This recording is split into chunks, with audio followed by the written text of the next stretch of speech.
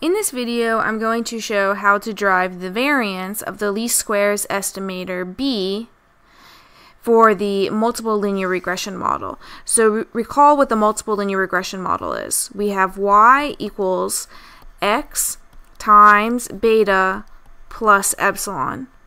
And we're assuming that the expected value of epsilon is 0 and the variance of epsilon is sigma squared times i.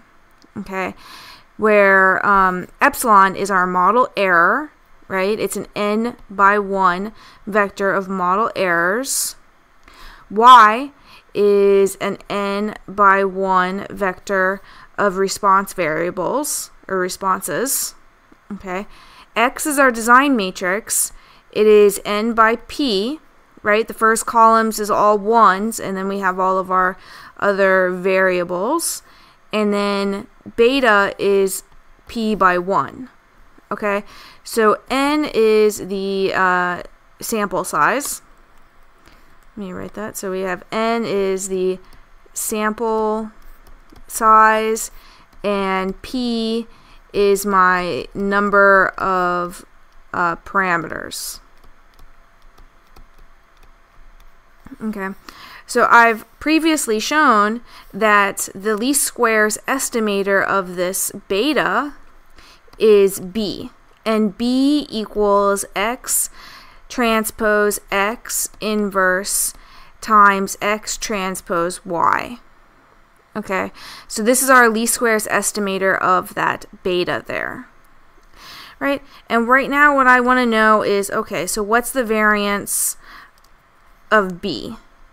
Okay, so this is going to equal the variance of x transpose x inverse x transpose y.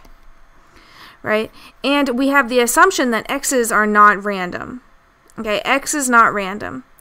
So just remember uh, as a you know side fact about variance, if you have a vector uh, that's not random times a vector that is random, this equals the non-random vector times the variance of the random vector times the non-random vector transposed.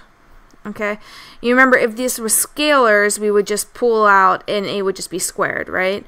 But now that they're vectors, you have to be careful and cognizant of your um, of the size of these vectors, right? And make sure that when you're when you're doing the multiplication, that the multiplication it comes out correct, right? So if y is uh, n by 1, then the variance should come out to be an n by n. Okay? So basically, all of this here is what A is. Okay?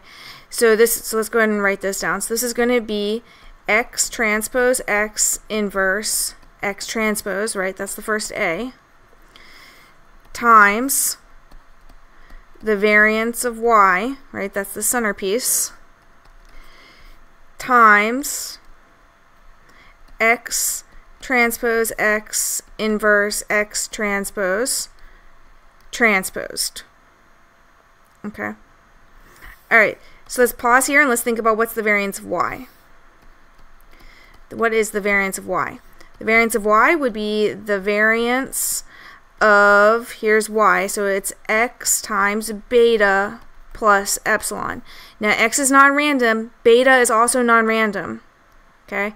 Beta is our model parameters. They're not random. So when you take the variance of x times beta, it just is basically goes away. It's zero. So the variance of this basically equals the variance of epsilon, which we've assumed is sigma squared times i. Okay, so this is sigma squared times i. Okay, I still have this front material here. Alright, this back material, right? If you remember, so say I have uh, A and B transpose, right? And A and B are matrices. This is equal to B transpose A transpose, right? You have to reverse the order when you bring in the transpose. So X is basically B, right? So X transpose. When you transpose a transpose, you get back to the original uh, matrix. So X transpose transpose is X. Okay. Then I have x transpose x inverse. This is also transposed, right? This is basically A. Okay, let's take a second to think about this guy. We know that x transpose x is symmetric, right? Because if I were to take its transpose, I would get itself. So x transpose x is symmetric. Because it is symmetric, its inverse this is also symmetric. Okay, so if it it's inverse is symmetric, that means that if you take the transpose of it, you get itself by definition of symmetry. So I can write this without the transpose. Okay, with and without the transpose, it's exactly the same thing. This is the same thing as this guy. Okay. Alright, so let me go ahead and rewrite everything else that I have. So I have equals. Now, x transpose x inverse x transpose. Now this piece here, this is a scalar. Okay, well, the sigma squared is a scalar. The i is just an index matrix, so whether or not you have it, it's irrelevant, right? Uh, so it doesn't matter, so I can actually just not write that i there, right? It's in the center of two matrices, so it would just basically do nothing. This sigma squared, I can go ahead and pull it out front, though, because it's a scalar. It's just a single number.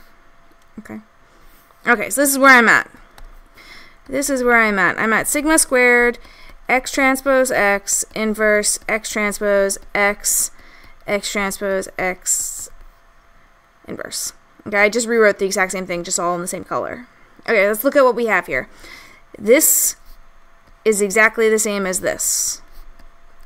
Right? So remember, if you have A inverse times A, you get the identity matrix by definition of an inverse. So this is the same as this guy, except this one is inverted. So they basically they cancel each other out. Right? And you're left with sigma squared x transpose x inverse. All right? This is the variance of my least squares estimator. Okay, now you don't, I don't know a situation where you would actually know what sigma squared is. Okay, sigma squared is the variance of your model error term epsilon, right? We don't know what the true model error is, so we don't know what exactly epsilon is, right? So what we do is we take the sum of our residuals, right? Where our residuals are the observed value minus the predicted value. Okay? So the sum of the squared residuals and divide that by n minus p. Right? So this is called s squared. Right? And I could rewrite this using vector notation as e transpose e, whereas e is an n by 1 vector. Okay? This is also called the mean squared error. Alright, so in real life, this is what we're going to do. We're going to plug in this estimator of, this is actually an unbiased estimator of sigma squared. And we're going to plug this estimate, this mean squared error estimate in, and then we're going to be able to get an estimate of the variance of our um, of our least squares estimator B.